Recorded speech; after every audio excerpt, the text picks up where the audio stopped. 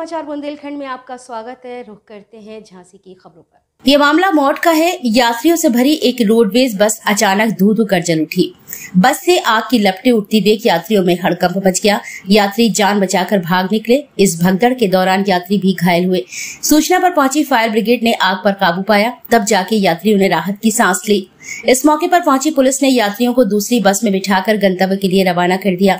उरई से झांसी की ओर जा रही थी, जैसे ही वह मोट कोतवाली के समीप पहुँची, तभी कस्बे की कोतवाली के समीप पहुँचते ही अचानक बस से धुआँ उठने लगा और आग के हिस्से में, आगे के हिस्से में आग लग गई।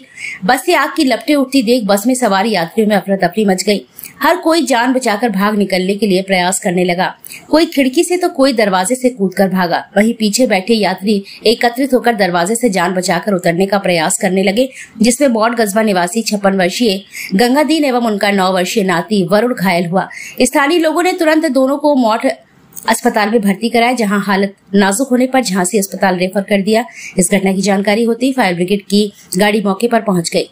फायर ब्रिगेड और स्थानीय लोगों ने करीब आधा घंटा प्रयास के बाद आग पर काबू पाया लेकिन तब तक आग आगे के बस के आगे का हिस्सा जल चुका था। फ़िलहाल रोडवेज़ बस में आग लगने का कारण स्पष्ट नहीं हो सका है। मौत से दीपक सिंह यादव की रिपोर्ट। है गौरव सिंह भदौरिया। अच्छा कौन सी बस हैं आप हाँ ललितपुर डिपुर। नंबर पता है गाड़ी का? हाँ। कौन सी नंबर? यूपी तिरानवे एटी इकहत्तर तिरसठ। कहाँ से कहाँ जा रहे थे? आप कानपुर कानपुर से झांसी। क्या हो गया?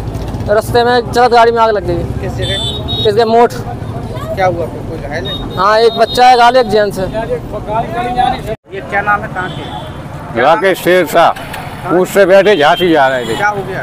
थे गाड़ी में आग लग गई। कैसे लगी है?